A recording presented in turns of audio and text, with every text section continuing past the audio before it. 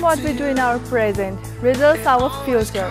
So, we should do our best in present in order to make our future bright. Namaste Jhapa. It's me, Diya Marasini, contestant number 22.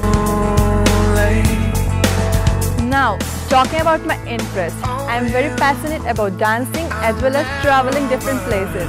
Whereas my aim is to be a successful supermodel and represent my country Nepal in different international beauty pageants. Thank you.